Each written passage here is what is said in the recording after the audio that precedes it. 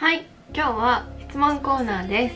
YouTube の方で何でもっていう感じで質問ボックスをしたら9割が恋愛相談だったのであのそんなつもりなかったんですけど恋愛に悩んでるねあの女の子たちが多いのかなと思ってまた別の動画で育児とか、まあ、その他の質問を取ろうと思ってて今回は恋愛に絞ってお答えしていきます。なんでなんでしょうね。昔からあのそんなに恋愛が得意な方ではないんですけど恋愛相談だけは本当によくされるっていう。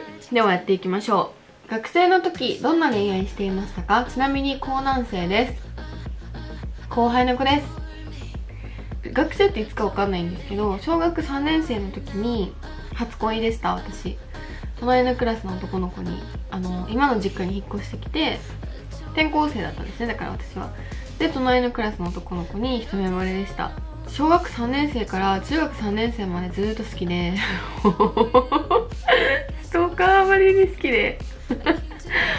で、まあ、その子結局最後高3中3の夏に向こうから告白してくれたんですけど私から終わってでまあそのことはもう何もなく高校入学して高1の時に一目惚れではないんですけどなんか急にその子がかっこよく見えたっていう子がいてで結局付き合ったんですけどあの振られて、えー、っと私は卒業まで好きで なんで高校も、まあ、違うことは付き合ってはいたんですけど2年半ぐらい片思いをしていましてで大学は割とまあ彼氏いた期間の方が長かったかな。基本的にあの昔から追いかけたい派だったんですよ。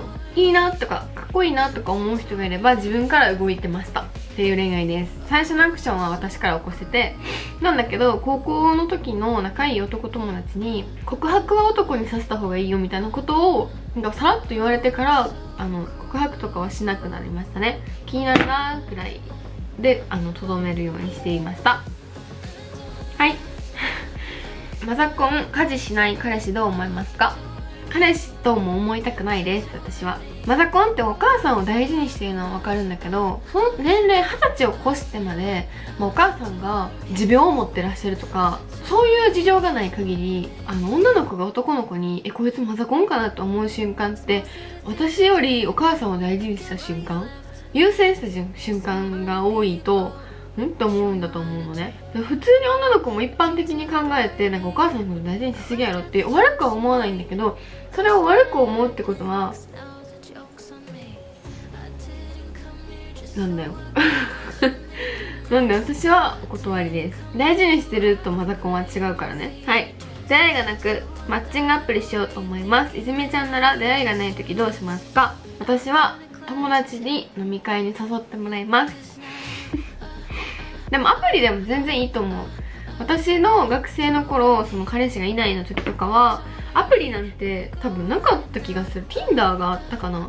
でも Tinder とかマジでそういう目的の子しかいないイメージだったししようとは思わなかったんだけど、まあ、学生だから出会いはいっぱいあったので今独身なら全然マッチングアプリする。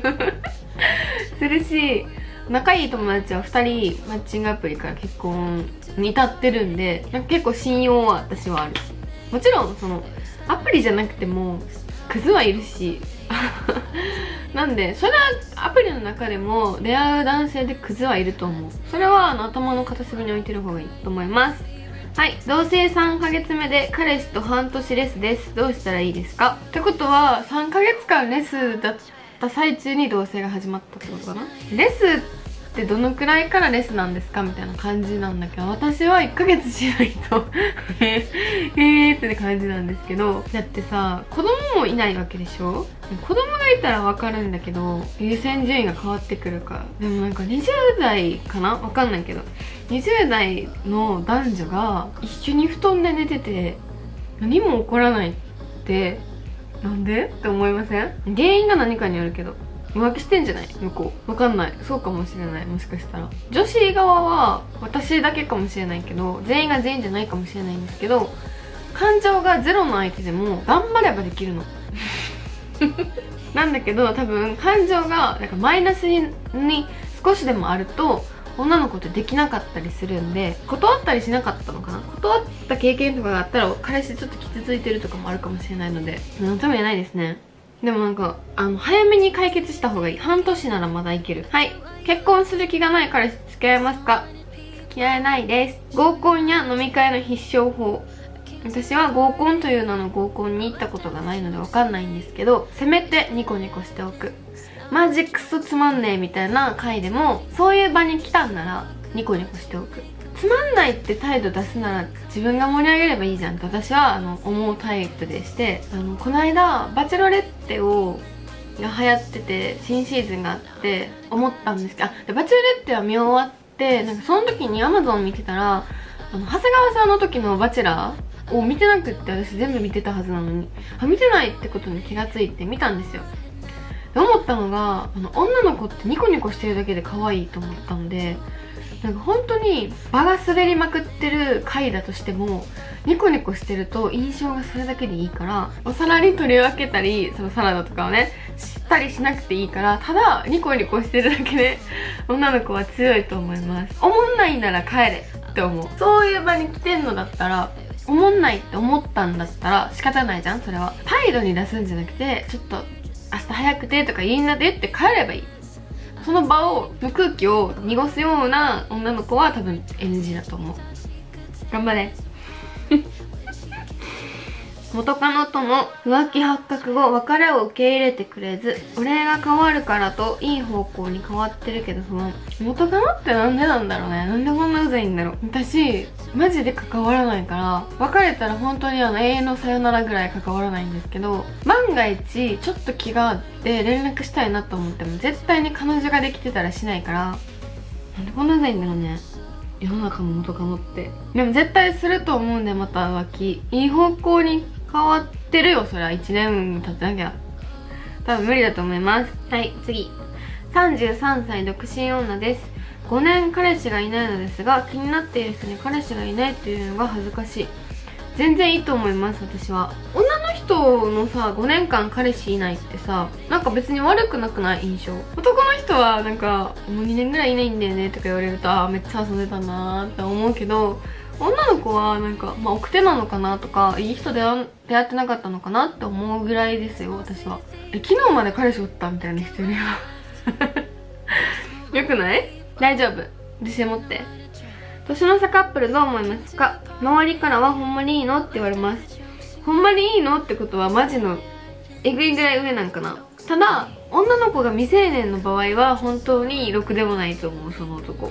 年の差って言っても何歳と何歳かによるので18と27とかでも私はそんなに年の差がなくても問題だと思うのね。普通に。でこの27歳男も私が友達だったらマジでやめとけって思うしなんでその周りからほんまにいいのって言われるのってなんかなんでなんだろう？それは理由。本当に年齢によるかな。年の差っていうよりそのお互いの年齢によると思います。元カノと浮気されてて別れました。重くない元カノどうしたら復帰出ますか？喝を入れてください。えっ、と別れたんで大丈夫だと思います。時間が解決するってすごいあの嫌な嫌な悩み解決法かもしれないけど確実に時間が解決してくれるのとなんか今すぐにって思うならなんか彼氏ができたらできなかった遊びとかあるじゃん。その彼氏の束縛具合によるけど男の子がいる場に行ったらダメっていう人だったら行けばいいし広い世界に飛び立てばいいと思います。そしたらあの元彼なんてこんなミジンコみたいにちっちゃく感じると思うんで。寂しくなる時ないですか？あれば対処法も知りたいです。あんまないです私。人生で寂しさを感じたことまあないかな。なんか一人でこの間コナンの映画を見に行ったんですけどレレイトショーで。その時ちょっと寂しく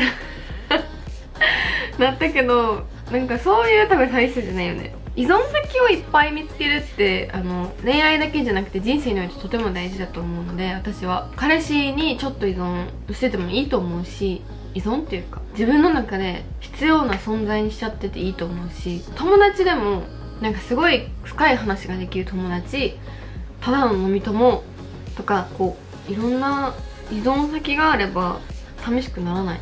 それがあの推しでもいいと思う。ライブ映像を見て寂しくないし。絶対に推しは裏切らないから。っていうね。彼氏と話し合いたい。過去別れ話なのですが全然会ってくれません。こんな時どうしますか？えわかるよ。わかる。会ってもくれないってもはやもう無理だよね。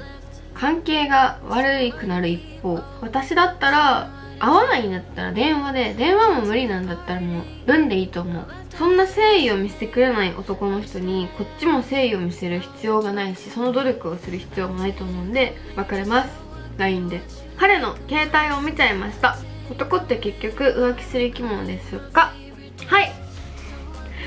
私もインスタライブとかで携帯を見たことがありますって言ったと思うんですけど携帯を見るときは覚悟をして見た方がいいですよ。女の子たち。例えばね黒いことが出てきてもどうしようとか思ってるんだうちは携帯なんて見ない方がいい。携帯見ていいことなんてまずないのよ。で女の子が携帯見ようと思った時って何かしらの感とかが働いちゃって思うのね。でその勘に基づいてなんか自分が一番よく分かってるからその勘に基づいて携帯見るんだけどいざなんか消されてたりとかして何にも出てこなかった時ってあこいつ消したなって思うから見るっていう行為をする時点でもうあの別れてもいいって思ってないとダメだと思う。私は絶対にそう思ってる。もう無理だみたいな。なんならなんか証拠探しで私は見るから。浮気してんのかなとかいう段階で浮気見ない方がいい。こいつマジほんまクソ分かってるかなみたいな感じのマインドマインドメンタルの時に携帯は見るものです。あと浮気しちゃうちょっと自分に弱いんだろうね。女よりやっぱ男って。医者を好きになったらどうしますか？そのあんま職業で人見てないんですけどなんでこれを聞いたのかわかんないけどどうもしないよ。サラリーマン好きになった時と同じ。同じ方法で。落としましょう。子供が生まれたら夫婦2人と2人の時より仲良くなくなりますか？そういう人をよく見ます。うん仲の良さの種類がまだ変わってはくると思います。今まではお互いがこう好き好きとか向き合ってたけどそれがこうやっぱお母さんは特に子供に100%ぐらいいっちゃうので意識が。でそこで女らしくなくなったとか全然構ってくれないとかそれこそそういう行動行為夜な夜な満たしてくれないとかっていう不満をこの男の人が抱くようだったらそうなっていくと思うので仲が悪くなるのは本当に旦那さん次第。奥さんは絶対に子供が生まれてさ妊娠中から徐々に変わってってるはずなのにやっぱ旦那さんも一緒に変わらないと温度差っていうものは確実に生まれるから、まあ、ほんと夫婦って子供が生まれてからが本番だと思います。でも本当に子供が生まれても仲いい夫婦って本物だなと思うので本当結局は自分次第だ。自分次第と思いますよ。仲の良さはまた形は変わると思うけどね。好きな人がいて明らか自分のこと好きじゃないなって思っててもアタックし続けますか？弾けるなら弾くかも。会いたくない？好きな人に。だから自分のことを興味ないのかなって思ってても私は会いたいから会おうとかご飯行こうとか誘うし3回まで私はアクションを起こすんですけどご飯誘ってみるしこのシーズンだったらまあ何回目かによるけど花火行こうとか 夏祭りとか私はキングダムの映画を見に行きたいのでキングダム行こうとか言ってみる。けど女の子はファーストインプレッションからもう恋愛対象なのかもう友達なのか多分ねあのね無意識のうちに判断しちゃってるんですけど男の子ってそうじゃないと思うのでなんか押したら変わる部分は多分逆よりはあると思うから誘います。だけど誘って、まあ、忙しいだのなんか予定を合わせてくれる気配がないとかだったら3回まで頑張るけどそれ以降はもう本当に潔く私は離れる。次いつ会えるかわからない人との遠距離恋愛成功のため今できることを泉ちゃん意見聞きたい。次いつ会えるかわかんないってマジでどこにおるん？海外とかかな。大前提私は遠距離恋愛ができないので会わないとどうでもよくなっていくんですよね。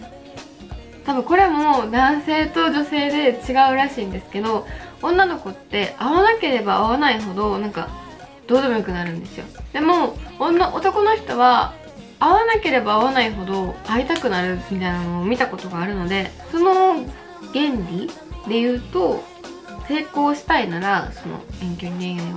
次会えた時のためにマジで可愛くなっていく。ダイエットとかしちゃう。ダイエットは整形級だからね。っていうぐらいなんで。とか自分に合ったメイク骨格とかに合ったファッションとかなんか研究するかな。でもなんか本当にちょっとアンテナは張ってた方がいいと思います。向こうも何してるか分かんないんで。なんでこっちもいいんじゃないかな。いかないなぐらいのアンテナは張ってていいと思います。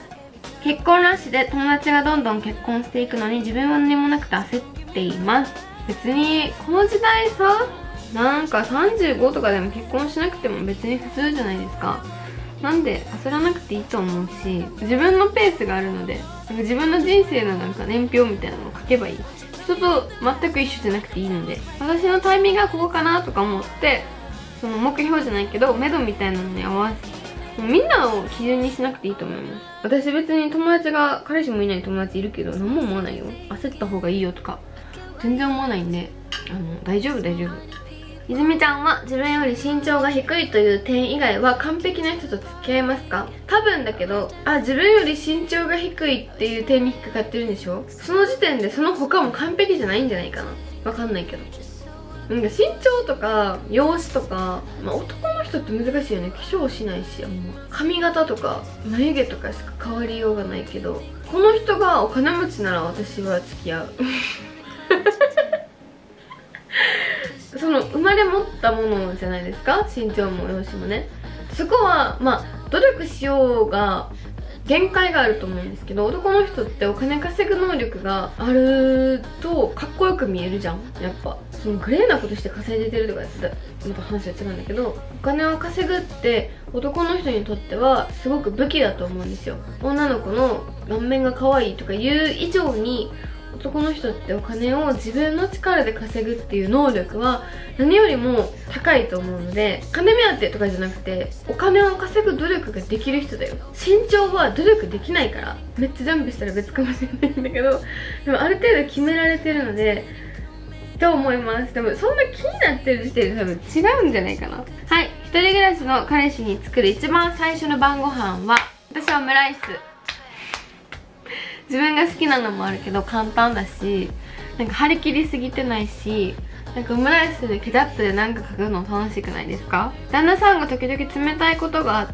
時があってなんだか寂しくて私も冷たくしてしまいます。私は決めてることがあって冷たくされても絶対冷たくしない。こっちがその思うことがないんだったら何かしらの原因みたいな理由がきっとあるはずなのでどうしたの？っていうことは聞く。そう態度に出すってなんか気づいてほしいわけでしょ？でもそれでも心当たりがないなら聞いた方が早い。なんか何どうしたやろ何考えてんやろみたいな時間が私はすごく嫌いなのであの早期に解決したいです。で私も冷たくするとことが大きくなっていくのでなんかお家の中でそのモヤモヤいざいざこだとかさせたくないんですよ。私が悪いなら言ってって感じだしやめた方がいいよ。やられてやり返すっていうのは夫婦間では良くないことです。復縁ってどう思いますか？いろいろ頑張ってますが最近少し疲れてしまいました。えっ、ー、と復縁した経験がないので何とも言えないんですけど周りの子とか見てて思うのはうまくいってる人をあんまり見たことがない。物理的に距離が遠くなっちゃってとかそういう何かしらの事情があっての一回お互いが別れたみたいなの以外は喧嘩別れとかあの合わないから別れたとかは違うんじゃないかな。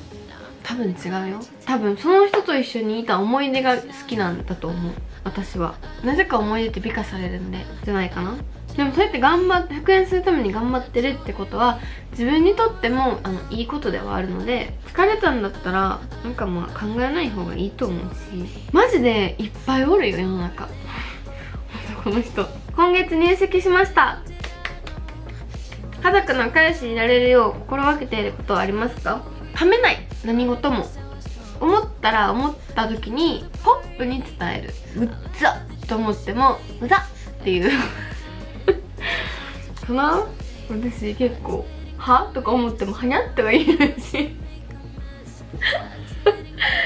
っていうことは頑張ってましたけどね。あとなんかまあこんくらい言わんでもいいかって思うことが引っかかることがあってもそれはその時に解決しとかないとそういうちっちゃいことなんかその時は喧嘩にもならないくらいちっちゃなことって積み重なってしまってこのバケツいっぱいに溜まってしまった時何が原因か分かんないんだよ。なんで爆発したか。そういうのってある日突然来ると思うんだけどなんか貼ってたものが消えてしまって爆発した時夫婦間で中を修復したいというかの時に何から直せばいいか分かんないの。そのちっちゃいことが積み重ねすぎるとあのいちいち言葉にして言うことでもないことって見逃しちゃダメなんだよね。と思います。私は。ちっちゃなことでも違和感とか自分の感情の変化があればそれはパートナーに伝えるべきだしその伝えること自体が面倒くさがれる人は多分これから先うまくいかないと思うのでさっさと別れた方がいいと思います。彼氏の性格や中身は素敵だなと思うんですが正直養子はタイプじゃなくてこのまま付き合ってていいのかなと思ってしまいます。泉ちゃんも養子は好きも大切だと思いますか？さっきのにちょっと似てるね。私も昔はあの顔面外見100%ぐらい90%ぐらい大事にしてたんですけど結構ドタイプな人と私は結婚して思うことはどんだけイケメンのドタイプの人でも腹立つ時は腹立つんだよね。なんでそのなんかまあ養子も大事なんだけどその他がめっちゃ素敵だしそこだけとか言う人って多分他にも気になるところがあると思うよ。大好きだったら私なんか昔全然かっこいいって言われてこなかったような人と付き合ったことがあるんだけど私は好きになるとマジでかっこいいのね。だけど周りには全然かっこいいとは思わないって言われてたんだけど別れて好きじゃなくなった途端かっこよく見えなかったから好きって気持ちがあればかっこいいとか思うと思うんだよね。思うと思うんだけど許せると思うんですよ。と思うよ。いい旦那さんいいパパになるけどいいなると思う人と付き合ってるけど物足りません。別れるべきですか？まあこういう人って多分結婚したら浮気すると思うんで別れた方がいいと思います。それ以上何を求めてんの？逆に。キュンキュン？ドキドキ？合わないよドキドキする人って。合わないらしいよ。今までどんな理由でお別れしてきましたか？27歳だとお互い好きでも別れるべき状況ってありますかね？あると思います。もう好きだけで付き合っていけはしないと思うので年齢的にも。27だからこそ。学生の頃とかは私親に紹介できない人とはすぐに別れてました。あこの人お父さんに会わせたら恥ずかしい恥ずかしいとか言ってあれだけどなんか堂々と紹介できないなっていう人とかはすぐに別れてたしなんか結婚を見せるの早くないって周りに言われることは多かったんだけど結婚も見てない人と付き合うことが私はできないので逆に。なんでそれはありましたね。親目線で考えちゃう。あとインスタかな？なんかライブかな？でたんですけど書いたんですけどもう本当に好きだけで付き合える年齢ではないと思ってて好きの前に尊敬とか信頼関係がないと好きって感情すらも私はもう成り立たないのね。なんで男として優しいし好きなんだけど信頼できないなとか付き合ってる段階で信頼を損ねるような行動をとってくる人とかってこまでだよ。自分のこと傷つける人のこと尊敬できなくないですか？なんで私はそれ以上の好きにはならないので別れる状況もあると思います。昔彼氏に嘘をつかれたことがあり常に疑いの目を向けてしまいます。信用したい。えっと、嘘をつかれた側の人間が信用するために努力する必要ってないと思うので嘘にもいろんな種類があって私のことを守ってくれる嘘とかならまだしも自分を守ってる嘘で疲れた嘘？であなたがそうなっちゃってるんだったらまた疲れると思うので。やめましょう。今彼と結婚しちゃってもいいのかなって考える時点で違うんですかね。やっぱ夫婦になるってさすごいことなので不安を抱いてしまうのは当たり前のことと思うんですけど違和感があるんだったら絶対に違うと思う。相手の仕事忙しさで別れました。復縁してもいいと思いますか？マジで。よく SNS でもさ TWICE とかブラックピンクですらあんな世界的に多忙なアーティストですら恋愛できてんだから普通の一般人が忙しさで言い訳にすんなよみたいなの見たことあると思うんですけどその通りだと思う。私忙しいっていう人大嫌い。デートとか誘ってご飯とか誘ってあ忙しいんだよねとか言う人大嫌い。ほんと。新築りが何言うんだよって思うのであの復縁しなくていいんじゃないかな。マジでマジでビッグなプロジェクトに関わってるとかなんかあなたがその忙しさを納得できてたんならいいと思うよ。でも別にご飯行くぐらいできるくない？1日3食も食べる機会あるんだよご飯。1日1食ぐらいさ一緒にしてもいいじゃん。別にモーニングでもいいじゃん。飲みに行こうって言ってるんじゃないんだからさ。忙しいって使う人本当にやめた方がいいよ。みんな忙しいんだからこちらって。なんでこっち暇と思われてんだよ。時間の使い方がうまいんだよこっちは。って私は思うので無理です。はい。この男の人は信用できるなって見極める方法を教えてください。年下の子に慕われる人とか男友達が多い子ってあそうでもないな。物持ちがいい。とかどんだけいい車に乗っていようがいいお財布を使ってようがいい T シャツを着てようがそのお金をかける部分もそれぞれなんだけど物を大事にできるかはものすごく大事だと思ってる。とか店員さんに対する態度とか私は店員さんに慣れ慣れしい人が苦手っていう人たまにいるんだけどそういう人よりごちそうさまとか店出る時とかにありがとうございましたも言えないような男の人とか本当に大事だしえー、この男の人は信用できるな。ああった。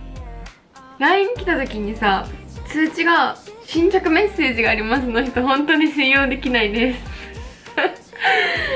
え誰に見られたら困る？んと思うし思いません？そんななんかどんな重大な内容してんだよ LINE で。人に見られて困るって。だってパッて来た時にさ新着メッセージだとさ使いづらくない？誰かわかんないんだよ。いちいちフェイス ID 突破してしないと。なんでなんかまあ信用できないっていう方だったんだけど私は今言ったのは。あの通知が新着メッセージの人は本当に信用できない。できないし。でも本当に LINE の新着メッセージがありますなくて表示される人はなんか信用できるし iPhone のパスコードが4桁の人も結構6桁の人よりは全然信用できるし。年下の人から結構慕われる人ってなんか上の人に媚びを売るとかはよくあると思うんだけど下の人に好かれるって結構よっぽど人間性がいいのかなとかも思うのでとかかな。あと店員さんに対する態度とか。店員さんに対する態度って将来の奥さんに対する態度って言うじゃないですか。基本的に信用しない方がいいと思いますよ男の人。はい。3つ下のスキピがいるんですけど脈は微妙ですけど年上からガンガン言っていいと思いますか？これは本当に人によると思います。来られて無理な人って一定数いると思うのでガンガンはやめた方がいいかもしれない。年下がまず経験ないからあれなんですけどリードはなんか大人の余裕を見せてもらうと男の人ってちょろいのかなとかも思ったりするのでガンガンっていうよりリードしてあげる。こういう店知ってますみたいな。とか。じゃない？ガンガンはやめた方がいいかもね。ちょんちょんぐらい。ね。彼氏に今そっとしといてって言われたらいつまで待つ？もういいっていう。でもそうやって言ってくれるのよくないですか？私がまあわーって言ってさ。マジで機嫌悪さ出されるよりごめん今はちょっとそっとしてほしいって言われるより言われた方がいいよね。なんであのよしって言われるまで待つかも。1年とかだったらぶん殴るけど。はい。1年以上セックスレス泉さんならどう解決しますか？1年以上はまあもう無理なんじゃないかな。彼氏かな？お旦那さんかな？わかんないけど1年は無理じゃない？どうなんだろう？1年以上セックスレスで解決した夫婦とかいるのかな？レスになった原因みたいなのがによるかもしれないんだけどうん。カウンセリングとか？言っちゃう？あれあれの質問だけど男あ浮気しない男の人っていると思いますか？まあいないんじゃないかなマジでとびきりドタイプの女の子にお酒が結構入ってる状況で誰も見てない状況で誘われて断れんのかな？そういう状況がないだけでいろんな条件がなんかお酒とかパートナーとあんまうまくいってないとかいろんな条件が重なった時に浮気ってすると思うのでその条件が重ならない状況に折れる人は浮気しないと思う。匿名希望です。もちろん。全員匿名だよ25歳東京在住です。地元過去九州の友人が結婚出産ラッシュで専用アカウントから続々とフォローがミュートにしてますがみんなの浮かれように呆れつつ孤独感を感じメンタルブレイクです。結婚出産税にどうして寄り添えるのかな私。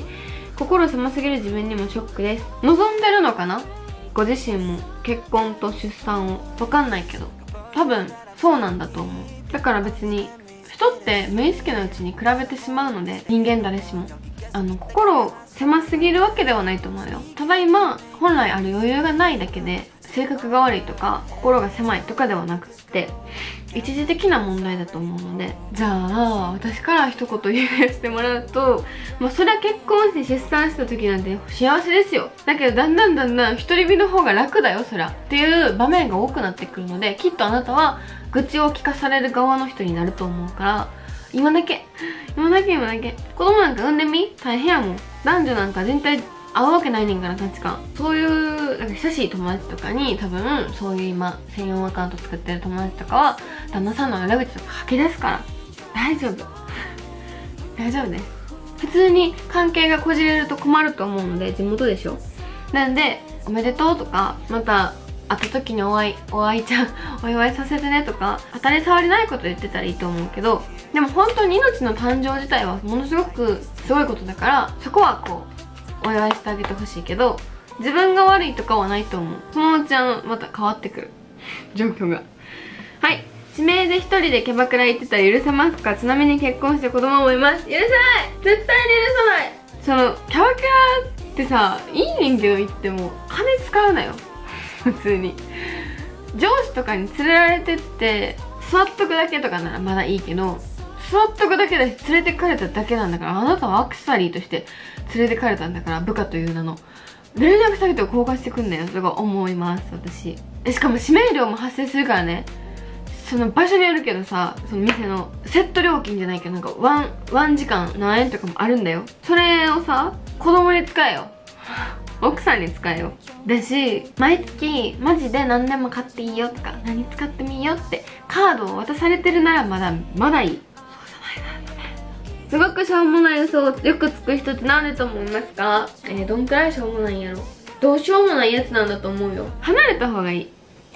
気になる人にセフレがいる。しかも相手もみんな同じ部署諦めた方がいいよね。私大人になって大人になってっていうかもう今年27になるんですけどみんなセフレいる。みんなセフレいない？あの私考えられないみたいな考え方のまま結婚したんですけどセフレってみんなもいるよ？基本いるよ？多分5人に4人か3人はいるんじゃない？女の子パパって街中でアンケートして男でも。で男なんて全員いるんじゃない？彼氏いなきゃ。あ彼女か。ただその同じ部署ってのが嫌かも。嫌だ。諦めた方がいいっていうか絶対にその人のセフレにはならない方がいい。諦める必要はないかもしれないんだけど諦めろって言っても諦められないと思うしなんだけど絶対にそのその部署の女たちと同じ立場に立っちゃうと二度と上に上がれないので絶対にセフレにはならない方がいいですね。インスタでつながってて初めて会う子がいたらどんなテンションで待ち合わせする？えもう本当にインスタってなんか会ったことない子でもさストーリーとか結構見てたらさ会ってる気分になるから何も変わらずなんか「よっ!」みたいな感じかな。えー、意外と身長高いとか言っとったらいいんじゃんはい。泉さんが男性だったらどんな女性を恋人や結婚相手に選びますか？なんかこれストーリーで答えたな。自分の機嫌は自分で取れる人です。えーと会おうと言われていたのに仕事だからと日付が回った時間を提案されて泉ちゃんならどうしますか？会おうって言ってて34回ぐらいなんかごめん仕事が長引いてごめんね。まだ別の日にってなってなんか4回目ぐらいにまた仕事のトラブルで日付が回っちゃって会おうとかならまだいいけど1回目でいきなりそのセフレ枠の時間帯に呼ばれるのは本当になし。マジでなし。1回許しちゃうとずっとそのその枠の女の子になっちゃうからやめた方がいいですよ。家事育児よく協力してくれる旦那がエロ目的で裏垢作って女探してたら泉ちゃんならどうしますか？なんで分かったん？これ。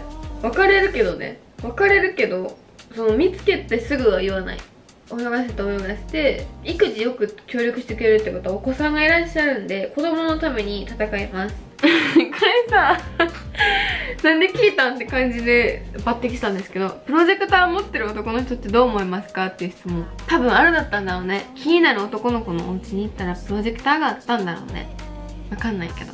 私は別になんとも思わないけど映画が趣味なのかなとか思うしまあお家が狭いとテレビ置かなくてさ今こう電気と一緒になるプロジェクターもあるからなんとも思わないんだけどちょっと面白くて抜擢しました。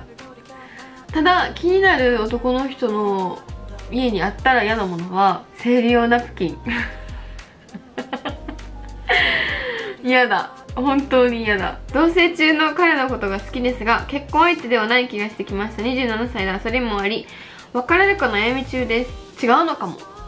年齢は関係なく違うんだと思うよ。27歳なんかまだ大丈夫なんで別れて探しましょう。子供を産んでから旦那のこと構ってられなくなりスキンシップもだいぶ減りましたがやばいですか？いや普通じゃないですか？旦那のこと構ってられるように旦那さんがもっとあの子供のこととか家のこととかやってくれればこっちも旦那さんに気が向くので頑張ってください旦那さん。恋愛において体の相性は大事だと思いますか？大事だと思います。今もさいっぱいあのレスで悩んでる方とかいたじゃないですか。どんだけ相性が良くってもレスになる時はレスになるんですよ。で女の子はさっきも言ったけど感情がマイナスのところにある人とはできないから体の相性よりなんかお互いのケアをするべきだと思う。相性はでも合わせていけると思うから最初から本当に合わないって人以外はあれだと思うけどね。マジで合わないって人は本当にやめた方がいいと思う。レスになるんで。レッスンだと悩みレッスンの女の子たちが。はい。泉ちゃん的に恋愛は経験派？付き合った人とは結婚したい派？私結婚もしない人となんで付き合うのかが分かんない派です。本当分かられないんですけどこの考え方。なんで付き合うんやろ？結婚もせんのに何がしたいんやろ？寂しいんかな？分かんないんですよね私その感覚。好きな人ができても恋愛の始め方が分かりません。泉ちゃんならどうしますか？ご飯に誘う。まあお酒に頼る。お酒お酒っていうか普通にご飯行こう飲みに行こうって誘うとかその飲みの飲みてご飯の場で映画見るとかなんか休みの日家にいたい派？外出たい派？とか言って共通点って絶対どんな人とでもあると思うんでその共通点が上がればそれをまた次の休みの時休みっていうか会う時に映画好きな人ならさ映画見に行けばいいし見れば行きたくな?いみたいなノリがあるんだったら売り場行けばいいしなんかあそこのご飯美味しいらしいよとかあるんだったらご飯行けばいいしなんせ会うことからじゃないかな。喧嘩してお互いに不満がある時私から切り出さないとずっとプイってしてて逃げられるのどうする?向き合えない人とは早めに切り上げた方がいいと思います。私から切り出した時に向き合ってくれるんだったらまた不器用なのかなとかコミュ障なのかなとか思うけどそうじゃないんだったら早めに見切りをつけましょう。終わり。多分終わった。結構答えたんじゃないでしょうか。まだまだあったんですけどまたこれはインスタかスレッズで投稿というか載せようと思います。